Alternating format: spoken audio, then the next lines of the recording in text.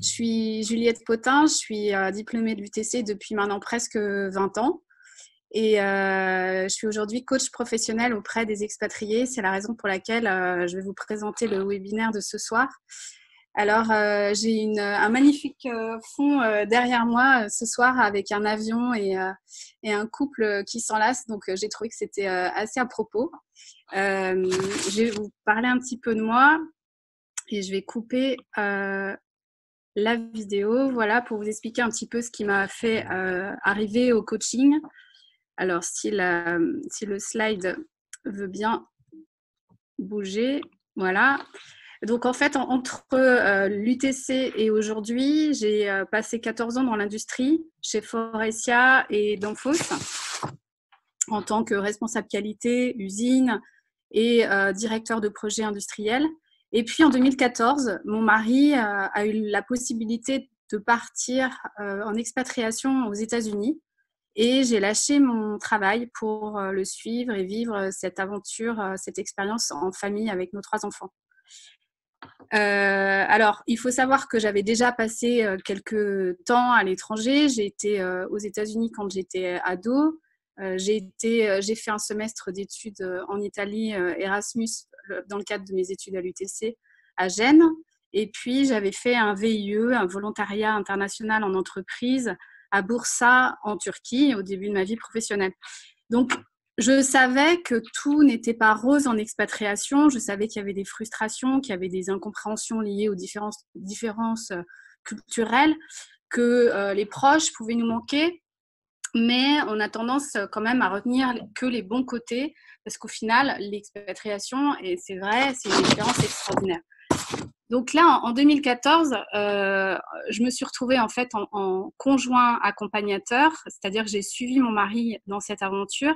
Et là, j'ai vraiment coché toutes les, cases des défis que je vais vous présenter ce soir.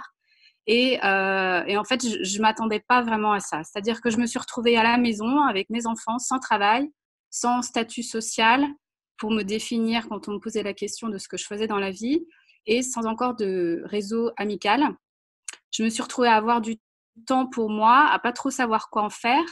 Parce que euh, dans ma vie à, ce moment-là, j'imagine dans les vôtres, j'avais pas trop le temps de me remettre en question. J'étais occupée par euh, toutes les contraintes du quotidien, euh, professionnel ou familial. Chaque jour, je résolvais des problèmes, je saisissais des opportunités et la vie filait à toute allure. Donc, quand tout d'un coup, tout ça s'arrête, c'est en fait assez déstabilisant, assez vertigineux. Donc j'ai eu du temps pour m'interroger sur moi, sur ce que j'avais vraiment envie de faire. Et c'est ce questionnement-là qui m'a amené au coaching.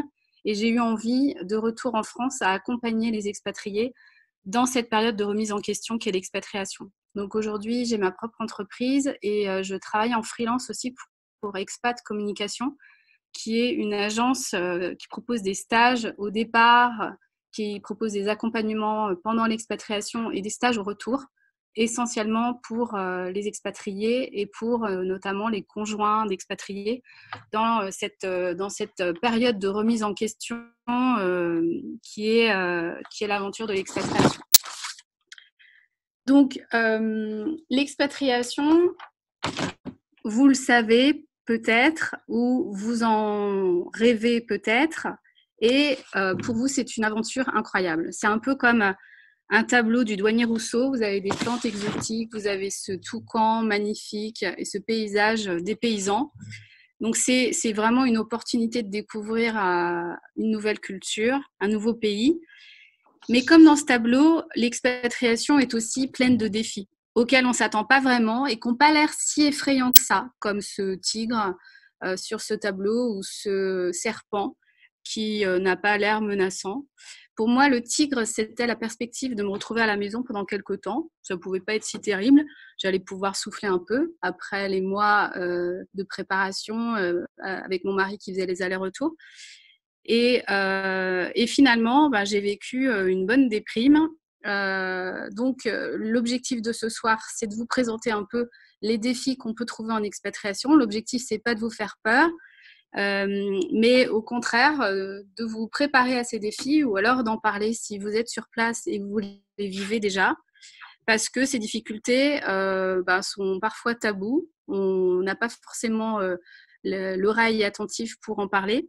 Et, et, en même temps, c'est des défis qui, des difficultés qui permettent de, de, de, dépasser, de se dépasser et une expérience dont on ressort ensuite plus fort, plus sûr de soi, plus, plus clair par rapport à qui on est et de ce dont on a envie pour la suite.